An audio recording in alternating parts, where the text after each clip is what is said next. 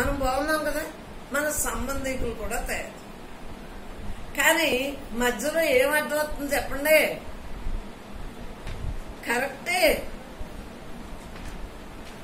గోలు అన్నీ కరెక్టే.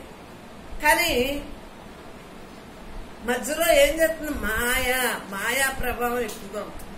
దాన్ని మనం ఏం చేయాలి? అలాగే నమ్మా నమ్మాను వీళ్ళని మాట్లాడాలి. అలాగే అంటాం ప్రతిదాన్ని జీవించాలి వేది వ్యతిరేకించడానికి మగోళ్ళు వేరు ఆడవాళ్ళు వేరు.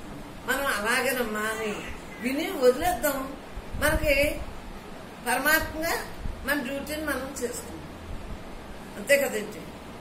ఉన్నది బ్రహ్మం బ్రహ్మం బ్రహ్మం. ఆ బ్రహ్మ భావన జ్ఞాన సాధన సత్సంగులు అందరూ కూడా బ్రహ్మార్పణ జీవితాన్ని గడుపుతున్నారు. బ్రహ్మంగా మిగులుతారు. లయం బ్రహ్మంగానే లైవ్ అయిపోయింది అసలు రెండో భావన ఉండదు. అసలు చిత్రం ఏంటో తెలుసా? కరోనా వచ్చింది రైటే. ఇంటి పక్క వీధి పక్క వచ్చిన మన వాళ్ళు అందరూ ఉన్నాయి. స్టెబిలిటీ తోటి ఉన్నాయి. ఎందువలన? మృత్యు వస్తే తప్పదు.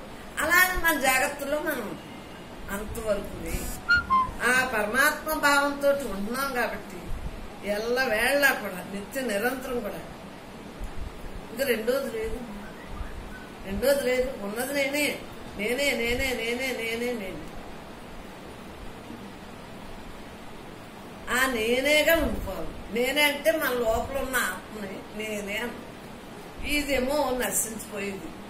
ఈ లోపల ఉన్న చూడ ప్రహ్లాదుడు అలాగే వీళ్ళందరూ ఎలా తయారయ్యారు మరి? పొట్టలోంచి వీళ్ళందరూ బ్రహ్మస్వరం ఈ మధ్యన పుట్టిన వాళ్ళు అందరూ అంతే కదండి. యామిని పిల్లలే కదా భాను మనవరాలే కదా. సరే ఎలా ఉన్నారే బాబు? లక్ష్మీ మనవరాలు ఎలా కూర్చుంది? నాకులా దాన్ని ముస్తాబు వేసుకున్నాం గాజులు ఇలాగే ఉంది నా వాళ్ళు. గాజులు పెట్టుకుంది ఇదే ఫోటోకి సోగ్గా తీద్దామన్నా? అమ్మా మీకు ఇష్టం కదా? దానికి కూడా ఇష్టం ఏమంటుంది వాళ్ళ మామ ఏమనలేక ఎందువల్ల ఏ స్వరూపానికి ఆ స్వరూపం మనం చేసేయాలి బాధ్యతలు బాధ్యతలు చేసేయాలి దీనికి ఈ చేంజెస్ ఉన్నది.